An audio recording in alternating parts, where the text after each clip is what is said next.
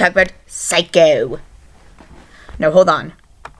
Hello, I'm the I remember, so you don't have to. Today we're going to talk about Psycho. Made by the great Alfred Hitchcock. Yes, that's his name. So Alfred Hitchcock made Psycho 1. And then another director went to 2.